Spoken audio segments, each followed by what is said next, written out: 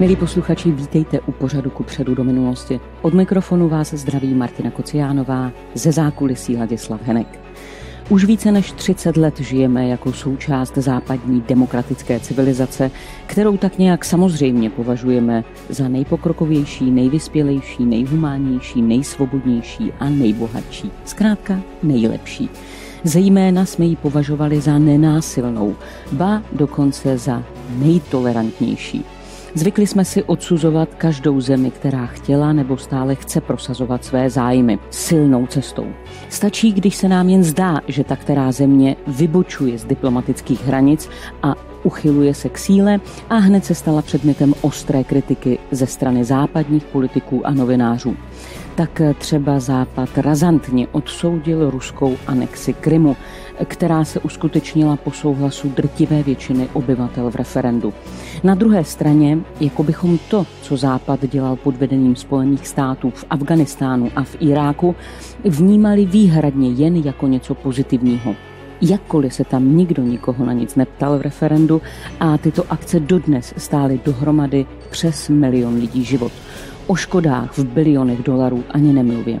Rozvrácený region, kde se znásobil počet lidí, kteří nyní nenávidí Západ. Proč používáme na dění ve světě tak extrémně odlišný metr? Kde chybujeme v přístupu k jiným, třeba islámským kulturám a jaké mají a ještě budou mít naše chyby důsledky? O tom všem budu hovořit s Petrem Pelikánem, českým orientalistou, který působí také jako poradce premiéra pro oblast migrace. Jen zmíním, že v Afganistánu studoval, roky žil a stal se muslimem. Petře Pelikáne, jsem ráda, že jste tady. Dobrý den. Dobrý den.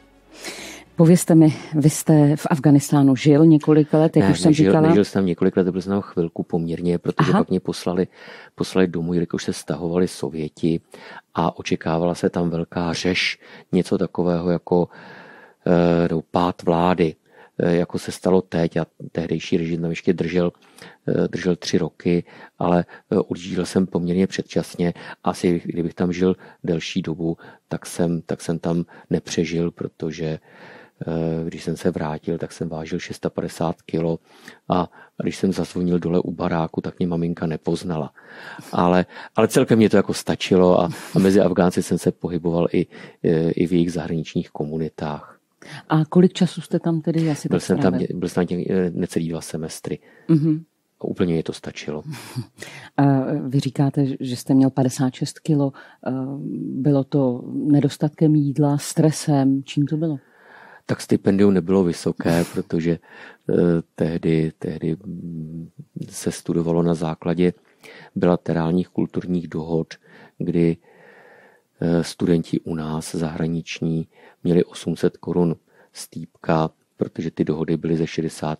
let a my jsme měli reciproční sumy eh, v těch zemích, kam se jezdilo, takže to fakt nebylo moc a, a fakt to byl asi i ten stres.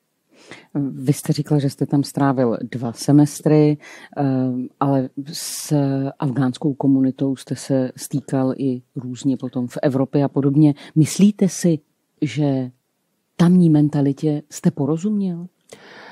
No, afgánská mentalita naštěstí není eh, tak komplikovaná jako třeba iránská mentalita, kam jezdím, já nevím, 15-20 let a vím, že ji nikdy nebudu schopen porozumět.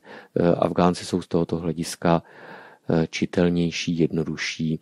Takže, takže si myslím, že, eh, že zhruba to podstatné jsem střebal.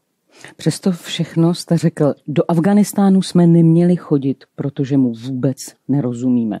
To jsou vaše slova a vyjadřují dnes po 20 letech.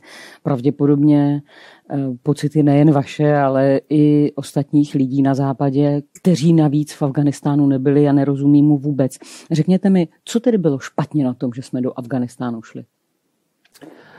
No asi vůbec ta příčina, já spochybnuju ten deklarovaný důvod, to znamená, že tehdejší vláda stála za e, útoky z 11. září ve Spojených státech. Já si to nemyslím, myslím si, že, e, že zatím stály e, spíše lidé z oblasti Perského zálivu, hlavně ze Saudské Arábie, z nichž jenom část tehdy pobývala v Afghánistánu, ale ta afgánská vláda jako taková podle mého názoru rozhodně ty útoky nepodporovala a neměla na svědomí.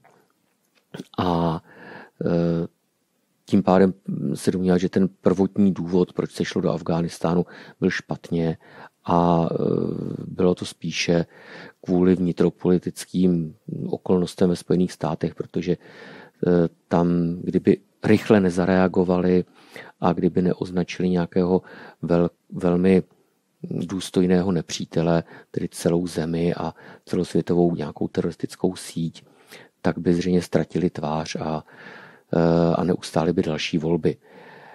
A eh, ono se to potom projevilo i na tom, že pro Afghánistán nebyly stanoveny žádné strategické cíle, čeho se tam má dosáhnout. Takže jsme se tam tak jako plácali těch 20 let.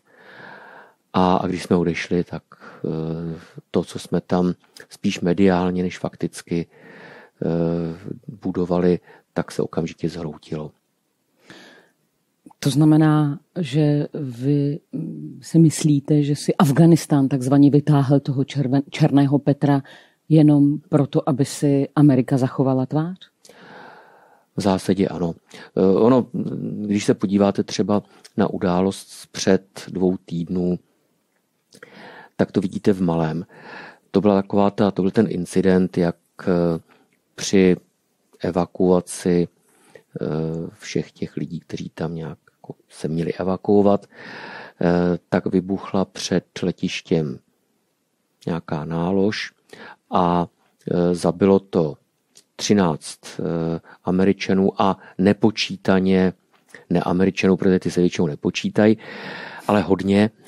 A, a teďka my jsme okamžitě věděli, přestože tam byl, víme, že tam byl zmatek, nepřehledná situace, netušili jsme, kdo tam kde přišel, co tam přines za, za zavazadla, tak my jsme okamžitě řekli, že to byl sebevražedný atentátník z islámského státu a jako odvetu jsme někam vypálili, tedy američani, někam vypálili raketu. A řeklo se, a ta zabila organizátory dalších útoků. Pak teda jsem viděl nějakou reportáž, eh, že, že údajně to zabilo, eh, zabilo nějakého humanitárního pracovníka eh, zahraniční nevládní organizace. Možná to je pravda, možná to není pravda, ale hlavně ty američani udělali totéž v malém, co udělali v roce 2001. To znamená, my musíme něco udělat, aby bylo vidět, že, že na to máme schopnosti a že, že nejsme měkcí. To znamená, že pokud eh, vy jste mm, naznačil nebo zmínil, že spíše za těmi útoky 11. září eh, byly nějaké skupiny operující v oblasti Saudské Arábie, tak my jsme se eh, vydali někde, na koho jsme si troufli. Protože v tom případě asi stálo za to zjistit, vyšetřovat a když tak zaútočit Eh, na, eh, na skutečné výniky, ale my jsme si nějakého vymysleli, nebo prostě Afganistán byl takový lépe přístupný, tak to...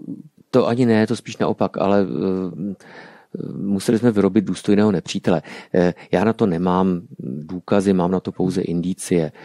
Vycházím z toho, že když se hm, ty útoky odehrály, tak byly velmi překvapivé. A nikdo neměl informace o tom, Eh, že k ním dojde. Kdyby měl, tak je pravděpodobně zmařili, odvrátili. A ta reakce a označení výníka byla v řádu dnů.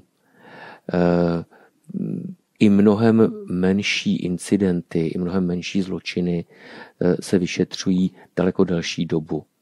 Ale tady bylo nutné rychle jednat.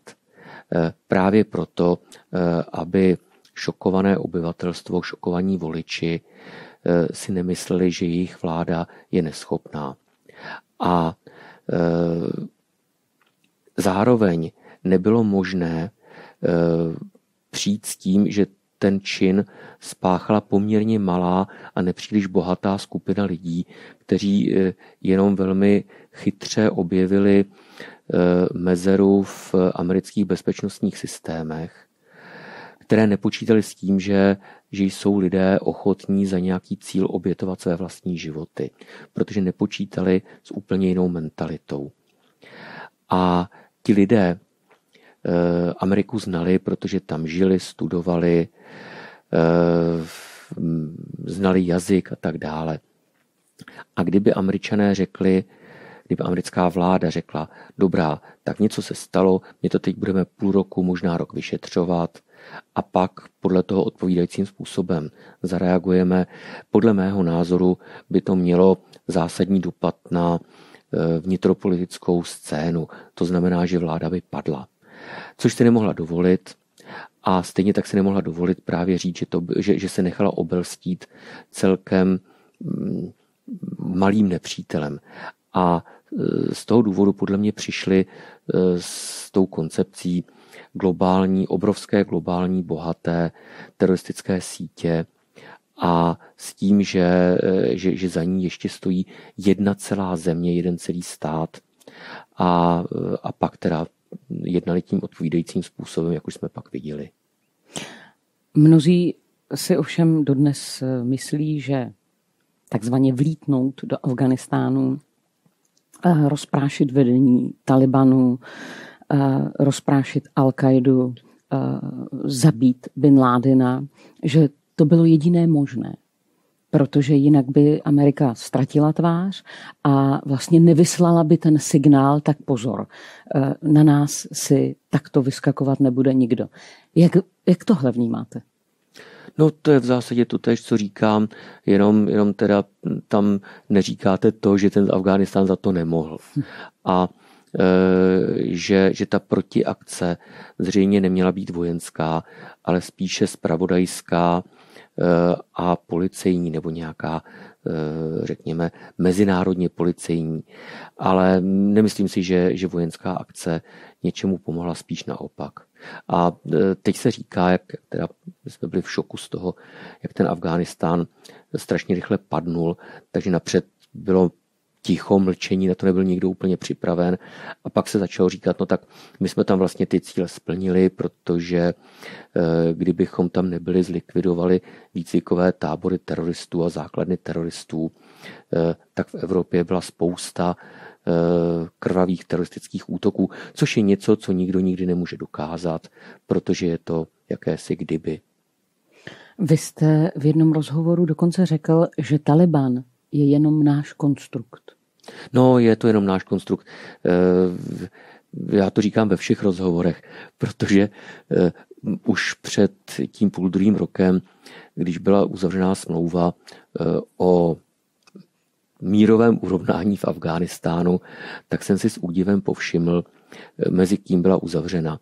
A já to tady zase zopakuju. Na jedné straně to byly Spojené státy a na druhé straně ten partner byl Islámský emirát Afghánistán, který Spojené státy neuznávají jako stát a který je znám jako Taliban.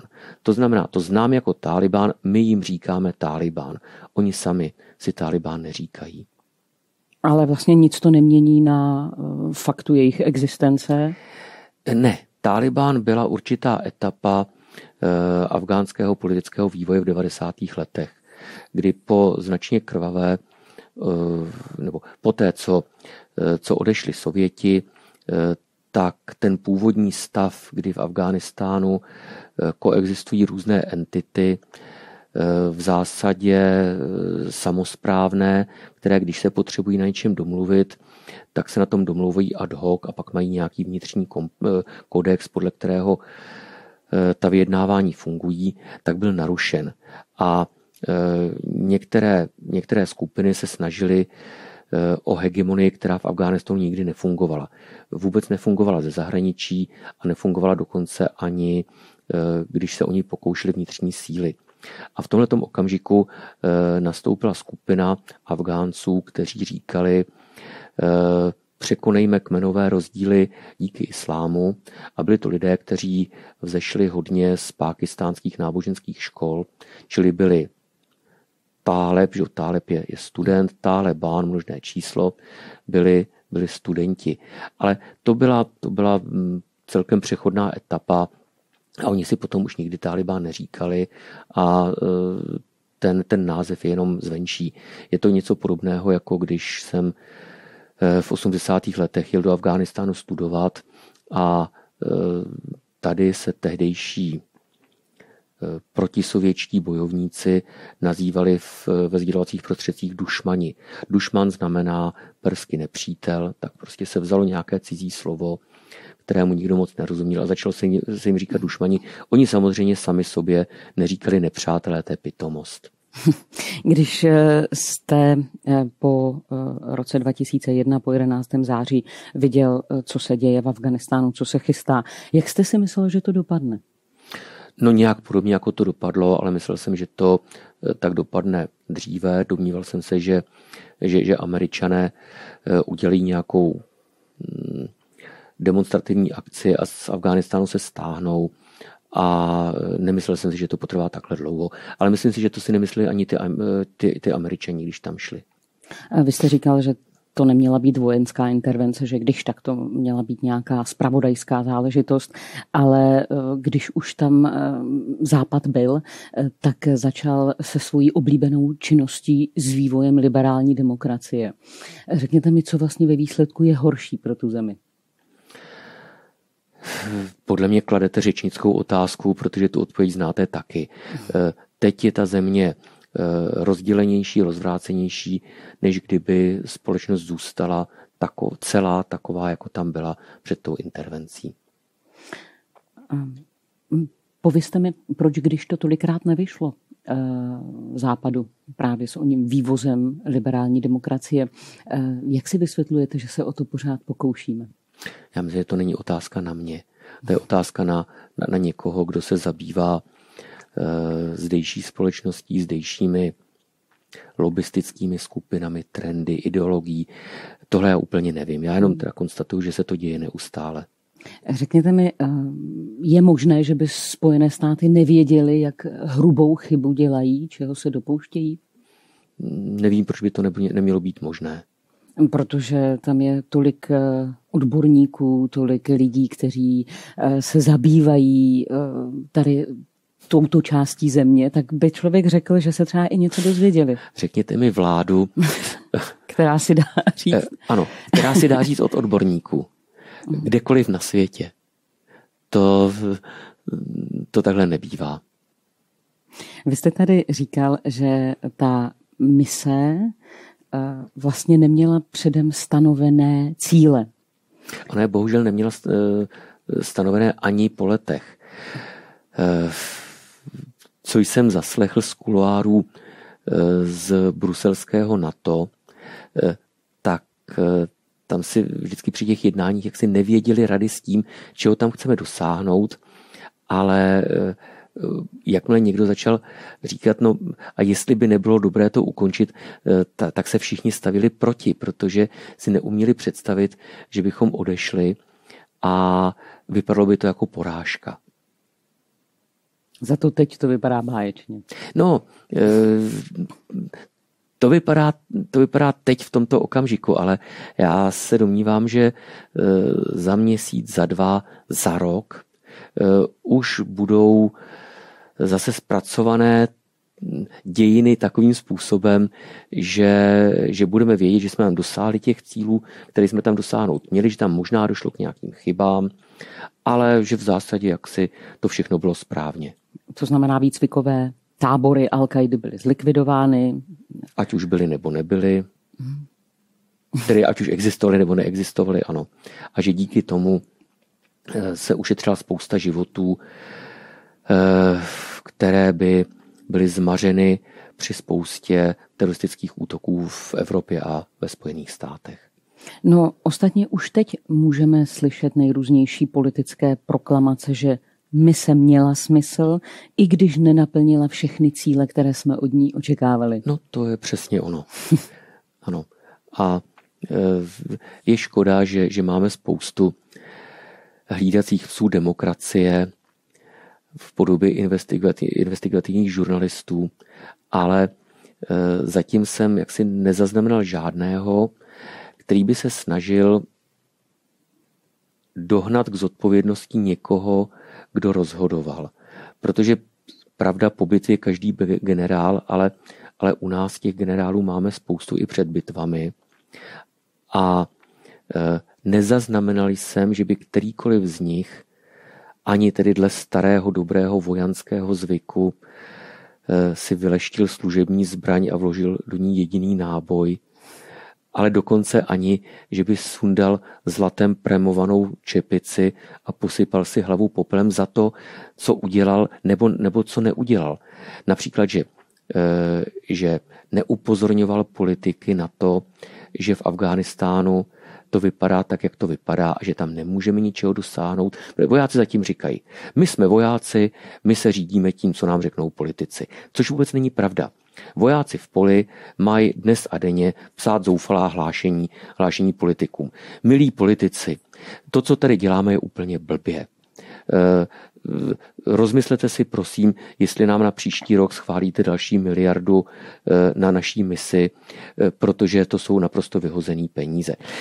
Nikdo z těch vojáků to zatím nikde, nikde neřekl. Všichni vojáci říkají, my jsme vojáci a my tam, my tam splnili dobře svůj úkol. A politici říkají, my jsme, tedy aspoň naši politici říkají, my jsme tam šli v rámci našich spojeneckých závazků. Byli jsme o to požádáni a jsme spojenci. A takhle se to hází pěkně jeden na druhýho. Chtělo by to nějakého investigativního žurnalistu, který by eh, lezl za těmi, neustále dolejzal za těmi, za těmi zodpovědnými činiteli a tyto otázky jim kladl. Myslíte si, že je vůbec šance tady najít jednoho velkého výnika? Ne, eh, těch výniků je spousta. No právě proto, že vlastně jako každý, jak jste to teď řekl, hází zodpovědnost na někoho jiného. Eh, vojáci na generály, generál, generálové na politiky eh, a politici si to mezi sebou rozeberou. No. Řekněte mi, eh, přineslo to, ta 20-letá intervence Afgáncům, alespoň něco dobrého? Nevím. Netroufnu si říct. Ehm, třeba takovou věc, jak se říká, že mm, ti lidé ochutnali svobodu a tudíž už nikdy nebudou eh, ochotni o ní definitivně přijít. To je takový ten náš pohled na věc. No, nevím, kolik lidí tu svobodu ochutnalo. Eh, ona zároveň ta svoboda, co jsme tam přinesli, eh, znamenala obrovskou korupci, násilí, spoustu, spoustu e, obětí. E, jo, já nevím, jestli to za to stálo. I těm Afgáncům, kteří ochutnali svobodu. No a co to přineslo západním zemím, protože my jsme se tady přesvědčovali, že u Kábulu se bojuje za Prahu, Němci měli heslo, že v Afganistánu se bojuje za německou bezpečnost. Co to tedy přineslo nakonec západu? To nevím, ale asi bychom měli chystat evakuační lety, protože padly Kábul, padla i Praha, tak musíme někam, někam prchat podle této logiky. Proč se afgánská armáda, kterou tam desítky let eh, západní spojenci cvičili a snažili se jí vycvičit eh, a vyzbrojovali za desítky miliard dolarů, proč se rozutekla při prvním takovém větším útoku Talibánu. No, on ani potom žádný útok nebyl. Hmm. To nebyl větší útok, oni se prostě vzdávali. Uh, a zkuste si sem právě pozvat nějakého, nějakého toho vojáka. Protože vojáci teď říkají, no my jsme je tam cvičili, já třeba nevím, co je tam cvičili. Jestli, jestli je cvičili vpravo v bok, eh, pochodem vchod, nebo jestli je cvičili v používání sofistikovaných zbraňových systémů, to oni neříkají. Eh, to je to je jaksi další, eh, další paradox toho, co se říká eh, a co, je, co naráží na fakta, že od roku 2015, čili poměrně dlouhou dobu, už ta mise byla pouze výcviková. To znamená, že by, že by naši vojáci měli někde být v učebnách, malovat tam obrázky na, na tabuli, a místo toho, místo toho oni tam pořád chodili patrolovat, eh, pořád tam byly oběti, eh, američani tam pořád posílali bombardéry a drony, žádná výcviková mise. A, eh, a takže ti vojáci, kteří tohle to dělali, by vám právě měli říct, co vlastně ty vojáky učili a proč nehlásili, když s nimi byli, že ti vojáci jsou úplně neschopní a že pravděpodobně, eh, jakmile jim odejdou mentoři, no tak, tak to zabalej a, a vykašlou se na obranu vlasti.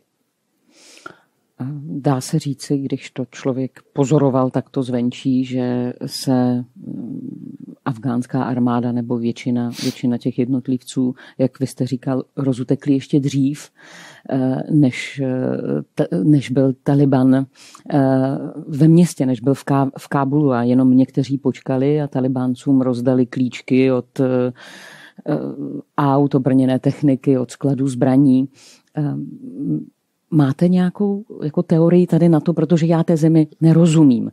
A tím, čím jsme byli živeni, tak jsem si vytvořila názor, že i oni jsou proti tomu tedy takzvanému Talibanu, jak vy říkáte. A najednou se ukazuje, že tomu tak asi nebylo. A nebo bylo, ale měli strach. Nebo když odešla, odešla americká armáda, západní armády, tak prostě zjistili, že jsou na to sami a nestálo jim to za to. No, jsou na to sami. Eh, hrdě jsme říkali ještě pár, pár týdnů před odchodem z Afghánistánu, že afgánská armáda je dobře vyzbrojená, dobře vycvičená, nenecháme ji v tom a budeme afgánskou armádu podporovat, budeme její, její vojáky cvičit dále ve třetích zemích, dokonce se třeba říkalo, že to bude v Gruzii, že to bude, že to bude v Turecku. A e, tak jako najednou, jak je možné, že, že, že už 14 dní později žádná armáda afgánská nebyla. E, žádné boje tam, žádné boje tam nebyly. E, ty vojáci, když e, viděli, že, e, že tálibové si s nikým nevyřizují účty, že tam, nebo s nikým ne, to není pravda, hmm. občas s někým si, si ty účty vyřizují, protože za těch 20 let se tam páchalo hodně zločinů na obou stranách. E, takže masově tam ty lidi nevraždí. E, no tak eh, jim nestálo za to e, ani v těch 300 tisících údajných eh, se bránit, protože kdyby, kdyby jim hrozilo skutečné nebezpečí, tak oni tu svou kůži přece jenom neprodají úplně zadarmo. Mm, věděli, že, věděli, že se jim nic nestane.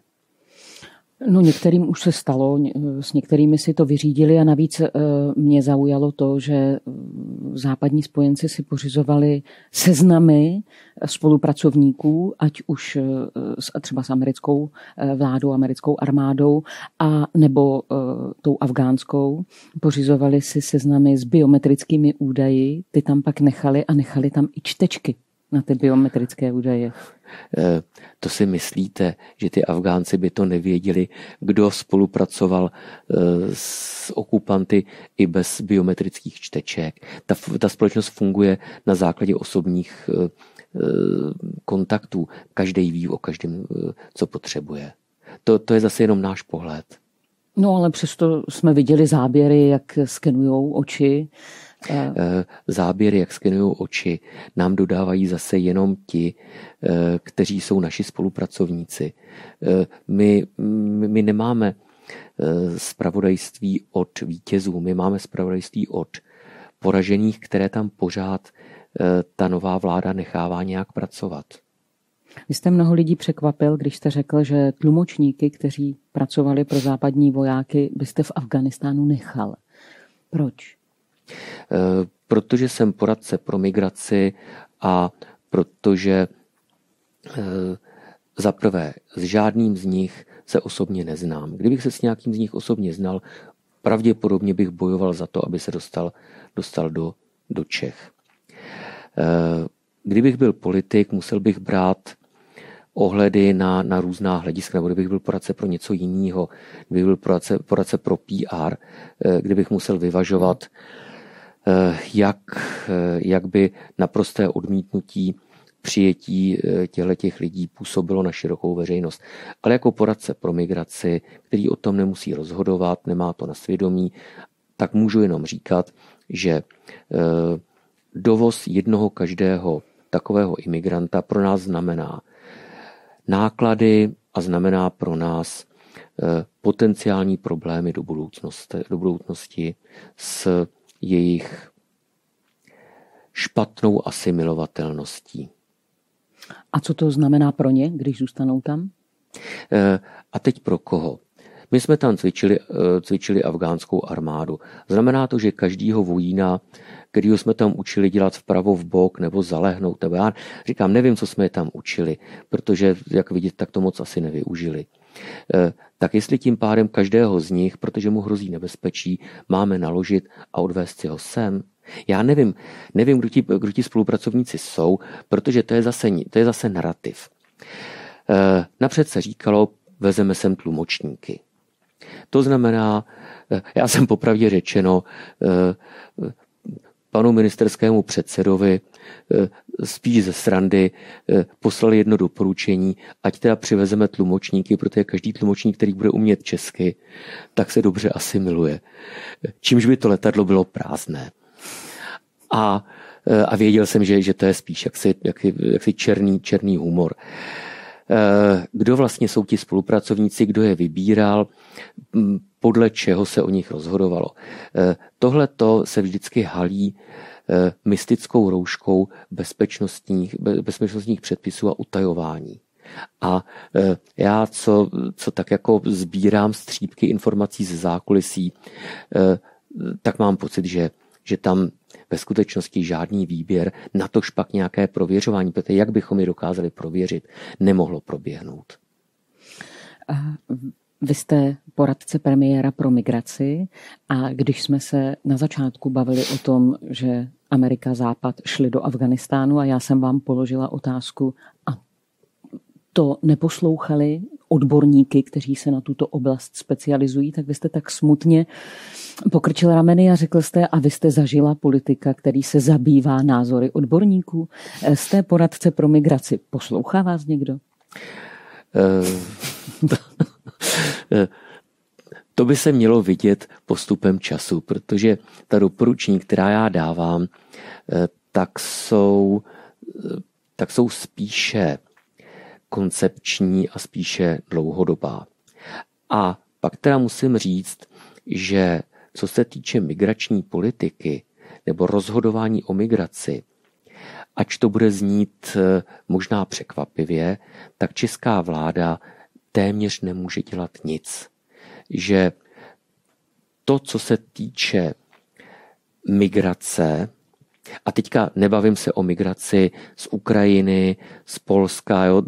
Teď, teď budeme mluvit, kde jsou taky problémy a jsou to problémy trošku jiného eh, druhu, ale pokud se budeme bavit o, o migraci ze zemí mimo, mimo evropských, eh, takže tam eh, česká vláda téměř nemůže dělat nic. Mhm. Mám ji litovat, nebo může dělat to, jak jaký manevrovací prostor si vykolíkovala? Eh, ne, ne, ona si moc, moc toho prostoru ani vykolíkovat nemůže. Proč? Eh, je to proto, že takhle, česká vláda by mohla, by mohla být vstřícnější k migraci, ale nemůže být dosti dobře nevstřícnější. Protože je, je omezena zejména činností soudnictví, které je nezávislé, a to jak soudnictví českého, tam hraje velkou roli eh, nejvyšší správní soud a jeho judikáty, tak potom soudů evropských.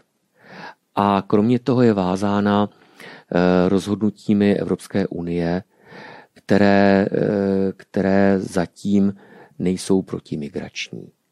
A různými mezinárodními dohodami, ke kterým jsme přistoupili a zase, jako, jako je třeba eh, azylové právo a jejich výklad je opět v rukou soudnictví. Takže ve skutečnosti česká vláda eh, bohužel eh, může dělat jen trapné minimum, ač se to nezdá.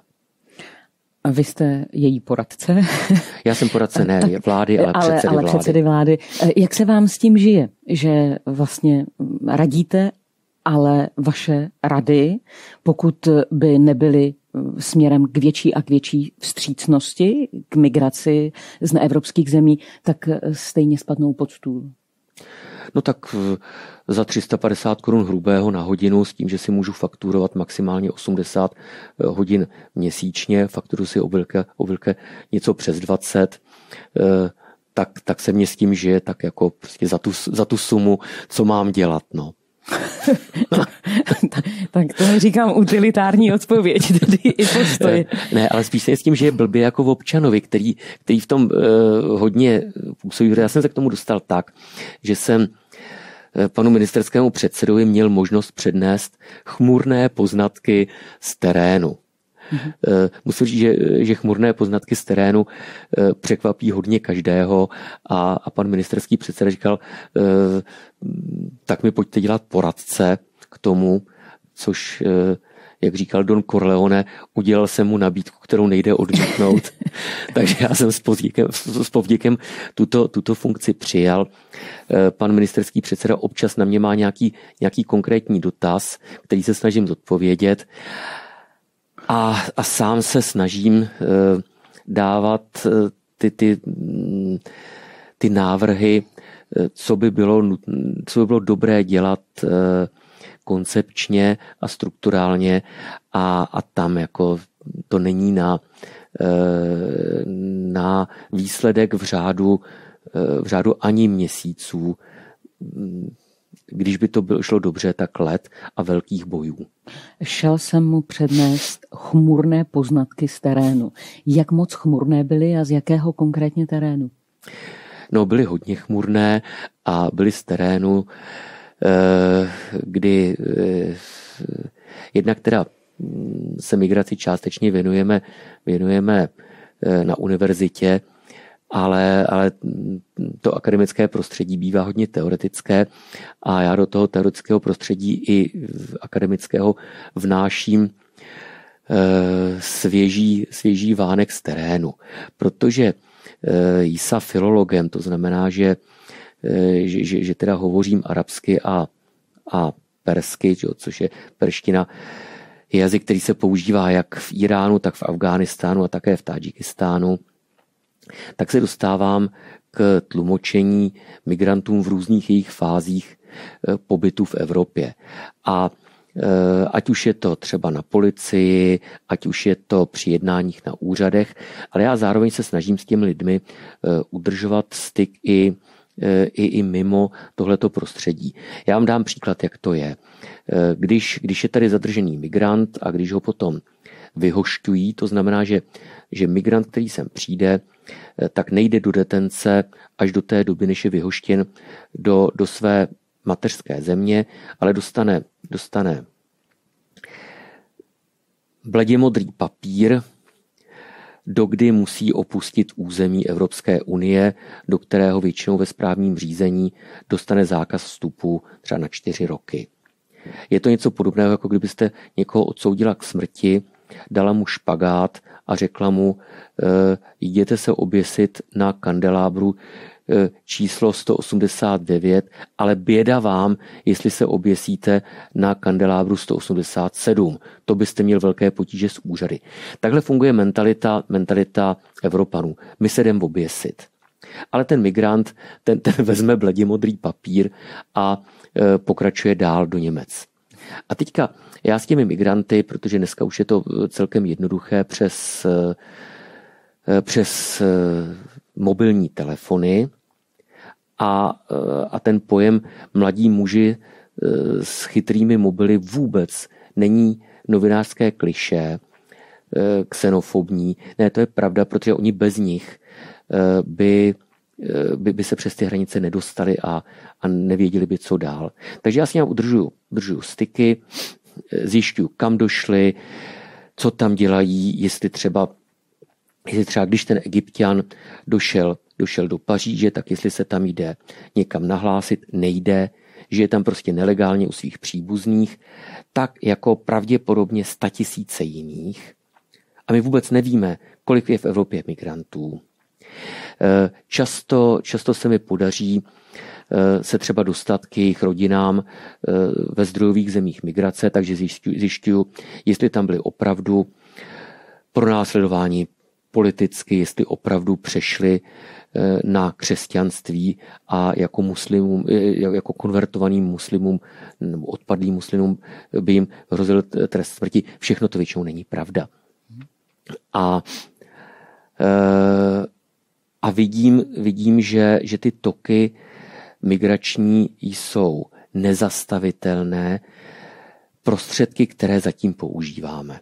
Takže tohle to všechno jsem mu řekl, plus ještě, eh, jak funguje, jak funguje to, čemu říkáme integrace, kdy, kdy tady máme lidi, kteří jsou tady 8 let, 10 let, nejsou schopni se domluvit vůbec česky, o životě v České republice mají takové představy, jako, jako třeba, že když, když vidějí Mikuláše, tak si z toho vyvozují a mezi sebou se v tom utvrzují, že Češi jsou uctí, uctívači ďábla.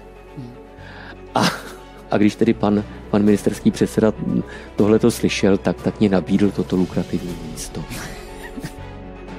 Petře Pelikáne, moc vám děkuji za to, eh, že jste se s námi podělilo vaše zkušenosti. Díky moc. No, děkuju. Nejsem si jistý, jestli jich zase bylo tolik, jestli jsem mi dokázal přednést, ale děkuji, že jste mě eh, vedla vhodným způsobem. Naschledanou. Milí posluchači, pro dnešek se loučíme, ale všechny rozhovory na našem webu, Facebooku i YouTube jsou vám k dispozici kdykoliv. Můžete nás poslouchat při práci v autě i ve chvíli klidného rozjímání. Záleží na vás. Děkujeme vám, že si uvědomujete, že bez vaší pomoci by to nešlo. Děkujeme všem, kdo nám zasíláte své příspěvky na 10 10 34 90 16 lomeno 2700. Díky vám můžeme budovat platformu Svobodné univerzum a natáčet další a další pořady ku předu do minulosti. Martina Kociánová a Ladislav Henek se na vás těší zase příště. Zatím se mějte hezky a něco pro to dělejte. Nikdo jiný to za nás neudělá.